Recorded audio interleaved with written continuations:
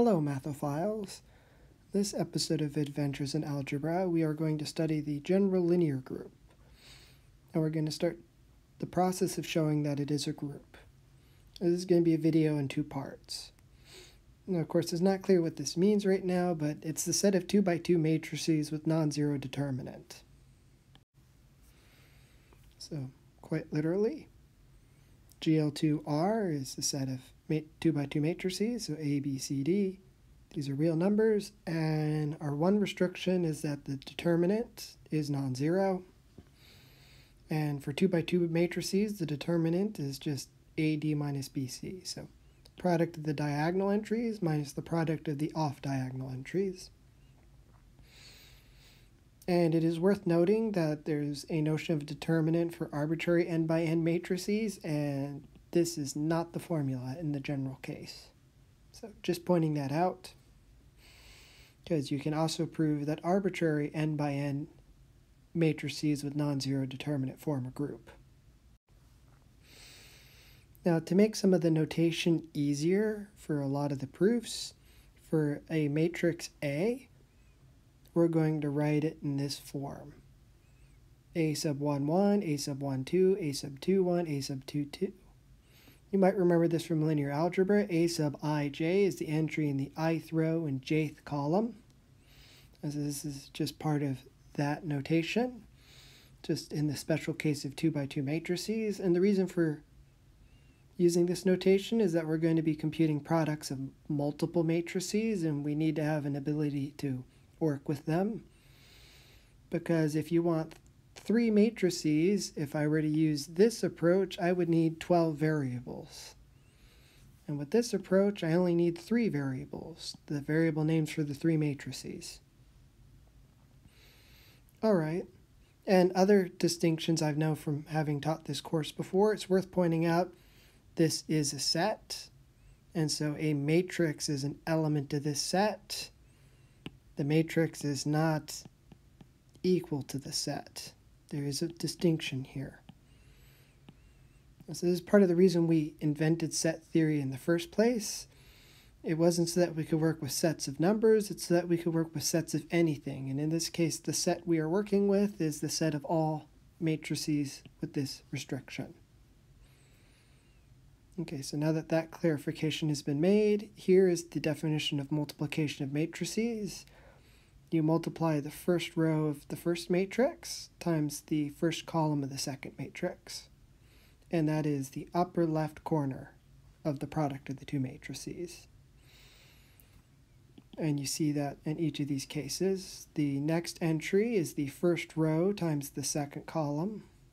First row of the first matrix times the second column of the second matrix, and so on and so forth. The lower left-hand corner is the second row of the first matrix times the first row of the second matrix. I might as well just put in the formula in general. A times B ij. If you might remember, it's the summation overall k goes from 1 to n.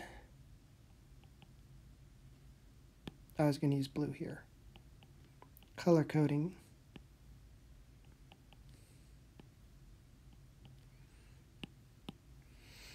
Because I should mention what do I mean by multiplying a row by a column. You're taking a dot product so in other words, you're multiplying every entry in the ith row of the first matrix times every entry in the jth row of the second matrix, term by term. So first entry times first entry, second entry times second entry, and so on, and adding them all up. And this gives you the entry in that matrix.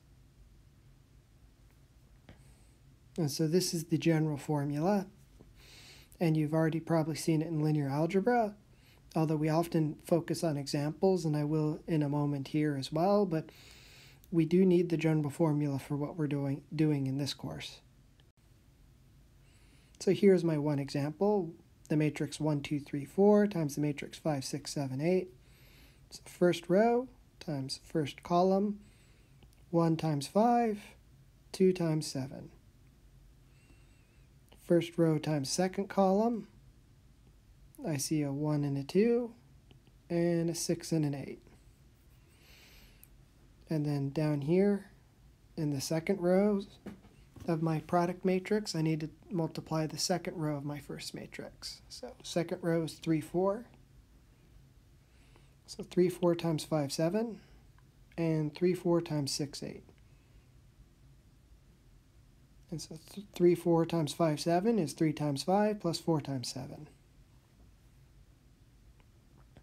And so this is the results and you can compute that this is the matrix you get.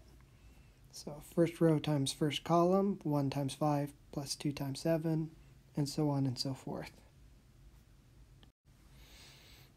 Now I've mentioned before that normally when you define groups we don't check closure, but this is one case where we have to because, well, if you assume A and B have non-zero determinant, you need to check that A times B has non-zero determinant in order to guarantee that the product of the two matrices is still in the set. Because remember, our set is invertible matrix or matrices with non-zero determinant. So we need to check that.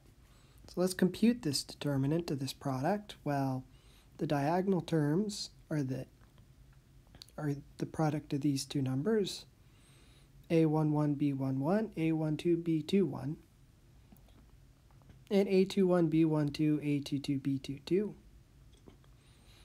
minus the product of the anti-diagonal terms.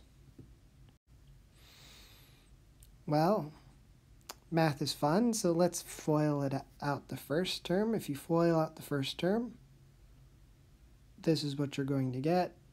A11, B11 times A21, B12 is this expression.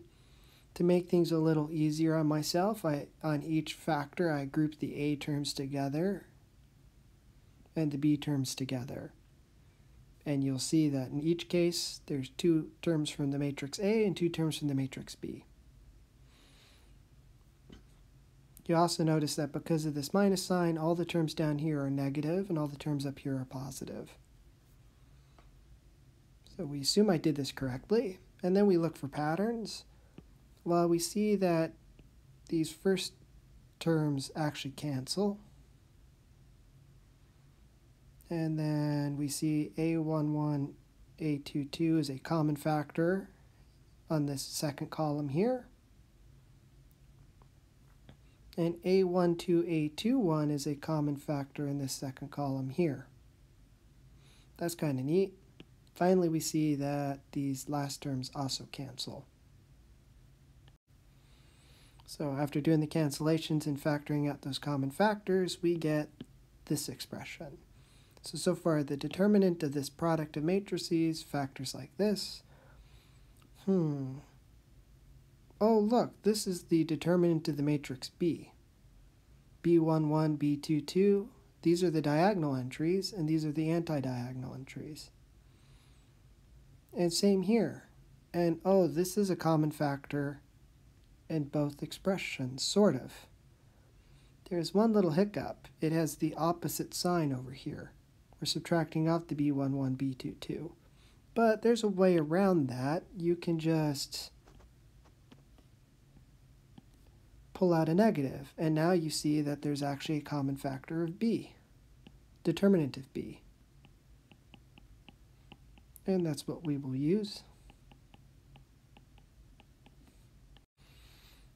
And so up to this minus sign trick, we have a common factor determinant of B. What do we have left? Oh yeah, it's the determinant of A. And so long tedious calculation, what do we discover? The determinant of the product of matrices is the product of the determinants, which is a fact we actually state in linear algebra but now you at least see the proof in the 2 by 2 case. More importantly, if we're assuming that the determinant of A and B are both not zero, their product can't be zero.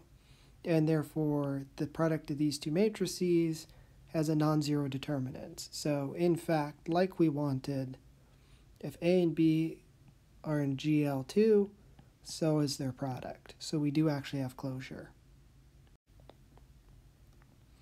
However, it's worth pointing out that we've proven this other theorem here that might be useful in other contexts. So I will point it out. The product, the determinant of the product is the product of the determinants.